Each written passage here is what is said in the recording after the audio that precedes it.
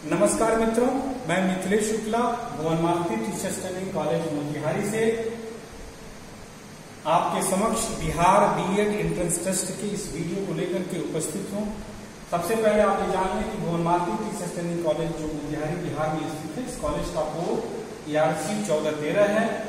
Mobile number इक्यानवे, अट्ठाईस पंचानवे नब्बे, छत्तीस और दूसरा नंबर सतहत्तर, छाछठ, इक्यानवे छियानवे पैंतालीस है।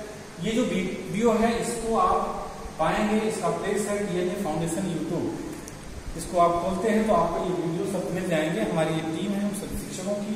इस पे हम लोग बिहार बीएड एंट्रेंस टेस्ट की तैयारी आपको करा रहे हैं। जिससे आप अधिक से अधिक अंक प्राप्त करके प्रथम वरीयता क्रम में इस कॉलेज को चुने। तो इसके पूर्व भी हम आपको बता चुके हैं कि शिक्षण अभियोग्यता के 25 प्रश्न आपके परीक्षा में आते हैं, उन 25 प्रश्नों को हल करने के लिए यदि आप बीएड और डीएलएड किए हुए हैं, तब तो आप बड़े आसानी से उन प्रश्नों को हल कर लेते हैं। अन्यथा, आपको ऐसे प्रश्नों को हल करने के लिए घबराने की ज़रूरत नहीं है। सबसे प्रमुख कार्य आपको ये होना है, ध्यान जो देना है कि आप ऐसे प्रश्नों को हल करने के लिए एकदम एक आदर्श शिक्षक की तरह अपने आप को स्थापित कर दीजिएगा और वह आदर्श शिक्षक का जो गुण है, उस गुण को प्राप्त करके, देख करके, समझ करके आप ऐसे प्रश्नों को हल कर लेंगे। तो सबसे पहले आपको पहला प्रश्न देते हैं कि एक शिक्षक का सबसे प्रमुख कार्य क्या है? एक शिक्षक का सबसे प्रमुख कार्य क्या है? भाषण देना, शिक्षण करना, बच्चों की देखरेख करना, गृह कार्य जांचना। तो शिक्षक का सबसे प्रमुख कार्य है शिक्षण करना। जो हमने दूसरा ऑप्शन आपको बताया, शिक्षक का सबसे प्रमुख कार्य है शिक्षण करना। दूसरा प्रश्न, शिक्षक को कक्षा के अंदर पढ़ाते समय और कक्षा के बाहर आदर्श जीवन बिताना चाहिए। क्यों? उसे समाज मान्यता नहीं देता, मान्यता नहीं देता। समाज में उसकी मान, मर्यादा घट जाएगी।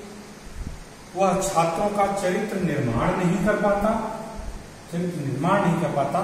तो आप देखें कि तीनों ऑप्शन में नहीं लगा ही है। तो शिक्षक का कक्षा के अंदर और बाहर का सबसे अच्छा कार्य है कि उसका प्रयास सफल होना चाहिए।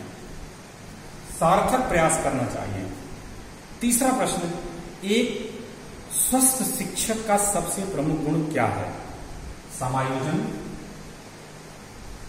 समायोजन, संतुलित संवेग संतुलित संवेग, उत्तम विचार,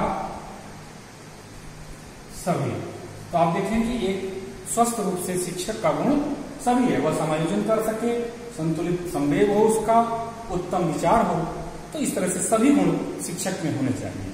अगला प्रश्न भी शिक्षक की गुण से ही जुड़ा हुआ है कि शिक्षक का गुण क्या है? आत्म विचार आत्म विचार आत्म निरीक्षण। स्व अहंकार स्व अहंकार परोपकार।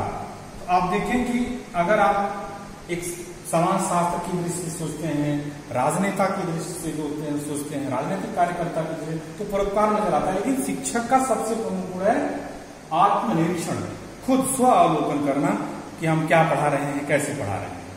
पांचवा प्रश्न है यदि आपकी कक्षा में एक बालक देर से आता है तो आप उसके साथ क्या करेंगे?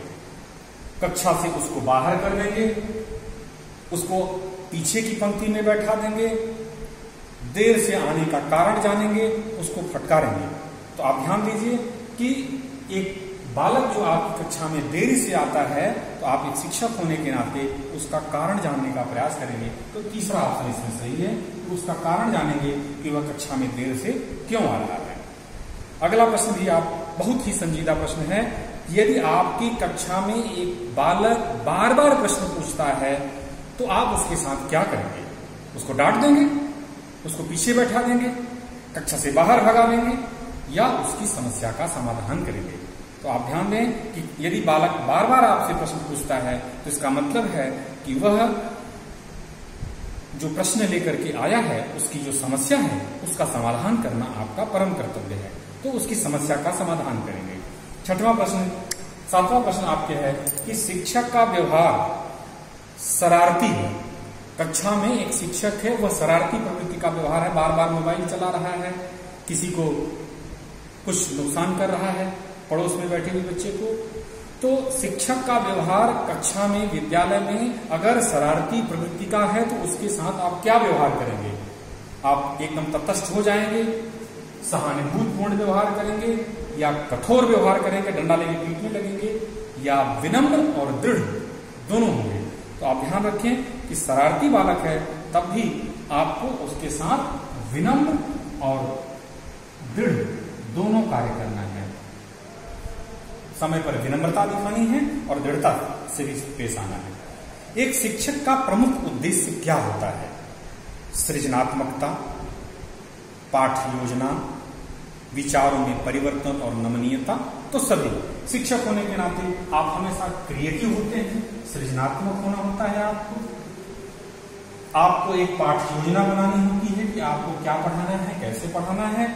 आपके विचारों में परिवर्तन और नमनीयता हो, इस तरह से सभी प्रश्न इसके साथ जुड़े होते हैं। नौवा प्रश्न जो आपके सामने है कि शिक्षक को क्या स्वीकार करना चाहिए?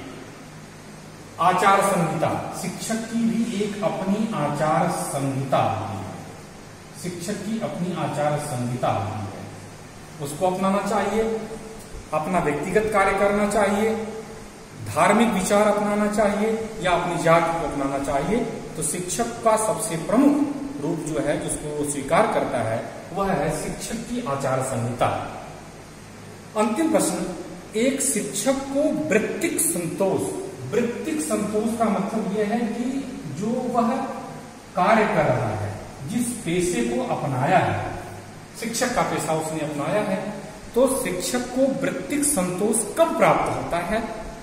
जब अच्छा पोशाक पहन लेता है पहला विकल्प दूसरा, अच्छी सैलरी मिलती है तीसरा, उसका शैक्षिक स्तर ऊँचा है। और चौथा, उसके पद की प्रशंसा होती है। तो आप ध्यान दें कि पोशाक से शिक्षक को वृत्तिक संतोष नहीं प्राप्त होता है, वेतन वृद्धि से उसको संतोष प्राप्त नहीं होना चाहिए। पद की प्रशंसा होने पर बड़ाई होने पर भी संतोष नहीं मिलता है। यदि उसका शैक्षिक स्तर ऊँचा है तो वह विद्यार्थी की नज़र में अपने आप ऊँचा हो जाएगा। तो विद्यार्थी का जो वृत्तिक संतोष है, वह शैक्षिक स्तर से जुड़ा हुआ है। तो आप ध्यान दें कि शिक्षण अभियोग्यता के जो 25 प्रश्न आपके लिए आते हैं, इसमें से आज हमने आपको ये 10 प्रश्न हल कराया है। इस सभी प्रश्नों का अभी आप अगर एक तरह से भूल भी जा रहे होंगे, तब भी इसका हम आपको पीडब्ल्यूसी के साथ जोड़ दे रहे हैं, आंसर के साथ आप इसको मिलान कर लेंगे और इस प्रश्नों को आप अच्छे से हल करें और इस कॉलेज को चुनें, अधिक से अधिक स्कोर करें। धन्यवाद।